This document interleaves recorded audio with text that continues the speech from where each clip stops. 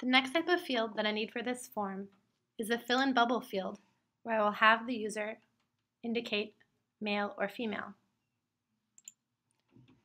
Functionality-wise, the bubble fill-ins and the checkboxes work exactly the same in ODK Scan.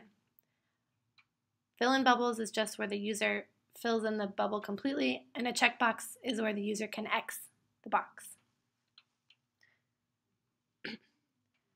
ODK Scan app will automatically identify which bubbles have been filled in and which checkboxes have been Xed.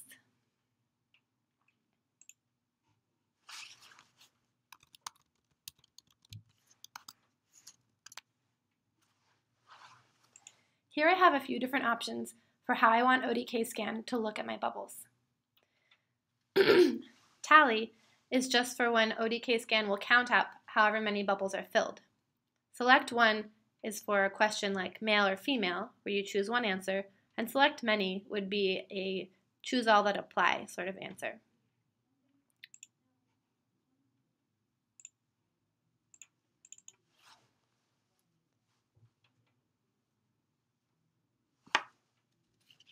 For values, I want to make sure I enter whatever I need ODK collect to show me as a value for at the end.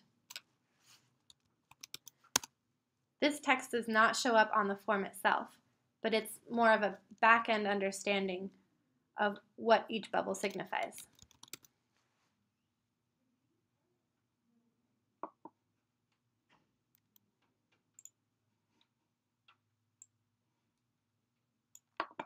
These are a little close together, so I'm going to change the margins.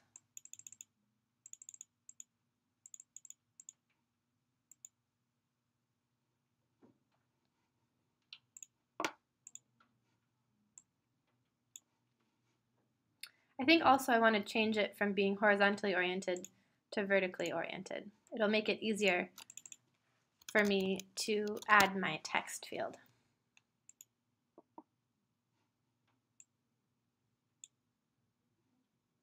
Great. For your tutorial activity, add a fill-in bubble field and experiment with the margins. Add a checkbox field and experiment with how it looks different.